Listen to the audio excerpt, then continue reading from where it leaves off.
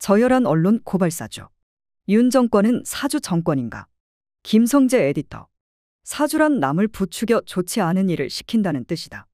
용산 대통령실 직원이 극우 어용단체를 사주의 정권 비판적인 언론을 고발하도록 했다는 자백이 나왔다.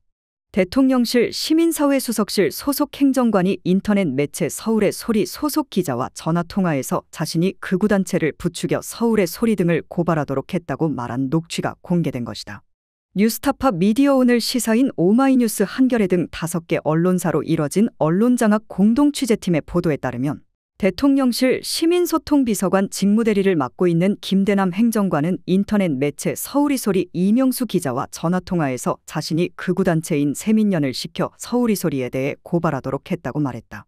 김 행정관은 세민연을 보수 우파 플랫폼이라고 지칭하면서 이 단체가 조선일보 등의 윤석열 대통령 홍보 광고를 내고 김건희 씨를 비판한 언론에 대해 고발하도록 자신이 사주했다는 의미의 발언도 했다.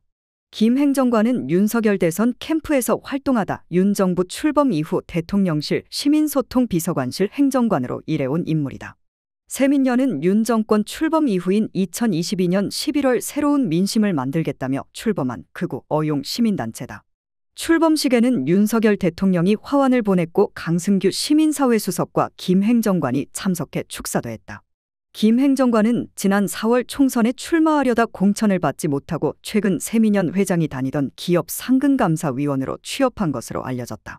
김 행정관이 대통령실 근무 당시 극우어용 단체인 세민연과 끈끈한 관계를 가져왔고 이 단체에게 정권 홍보 광고, 정권 비판 언론에 대한 고발과 관제 데모를 사주한 것으로 추정된다.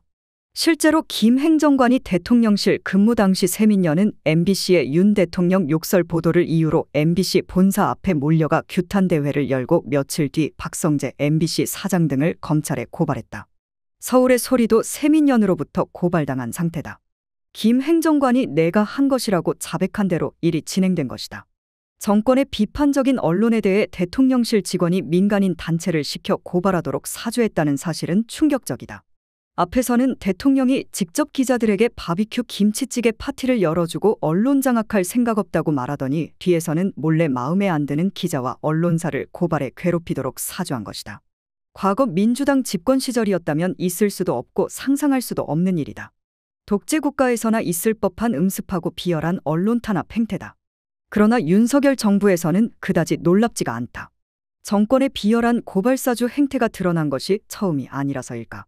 윤석열 대통령이 검찰총장 당시 검찰은 민주당 인사와 유시민 전 노무현 재단 이사장, 뉴스타파 기자 등을 고발하라고 국힘당을 사주한 사건이 있다. 윗선인 윤석열 한동훈은 불기소로 빠져나갔지만 고발사주를 실제 이행한 손준성 검사는 기소되고 실형을 받았다. 윤석열 정권 출범 뒤 강승규 시민사회 수석은 지인과의 통화에서 MBC 저런 X들 어떻게 해야 하나라면서 관제 데모를 지시하기도 했다. 강승규 수석은 김 행정관의 대통령실 직속 상관이다. 윤석열 정권의 비판 언론 탄압을 최전방에서 수행하고 있는 방통위와 방심위도 고발사주 의혹 전과가 있다. 방심위 류희림 위원장이 가족 친인척 지인들을 동원해 비판 언론을 심해 제재토록 민원을 넣으라고 사주한 사실이 내부에서 폭로된 것이다. 이동관 김홍일 방통위는 고발사주로 시작된 방심위의 비판 언론 심해 제재를 그대로 승인하고 류희림 위원장의 고발사주에 대한 책임도 묻지 않았다. 윤석열 정권의 고위직 공직자들과 정권이 임명한 기관장들은 언론을 정권의 선전도구나 애완견쯤으로 생각하는 비뚤어지고 위험한 언론관을 보여왔다. 그러나 이 정도면 이들의 언론관만이 문제가 아니다. 비판 언론을 괴롭히고 입을 틀어막기 위해 어용 시민단체나 친인척 지인까지 은밀하게 동원해 고발하고 제재를 가하는 저열함에 입을 다물 수가 없다. 민주당도 대변인 논평을 통해 언론 자유를 핍박하던 검찰의 뒤에 대통령실이 있었던 것인가라며 입틀막으로 국민의 눈과 귀를 가려 대통령 부부의 의혹을 감추겠다는 저열한 술수에 국민은 더 이상 속지 않을 것이라고 했다. 고발사주라는 언론 탄압에 침묵하는 주류 언론들도 문제다. 비판 기사를 폭포처럼 쏟아낼 법도 한데 조용하다. 대부분의 주류 언론들은 강승규 수석의 관제데모 사주에 대해서도 강 수석의 부하 직원인 김 행정관의 비판 언론 고발 사주에 대해 아예 보도 자체를 하지 않고 있다. 다섯 개 공동 취재단 소속 언론과 MBC 등 몇몇 매체를 제외하고는 주류 언론들이 이렇게 보도도 비판도 하지 않는 사실이 오히려 충격적이다.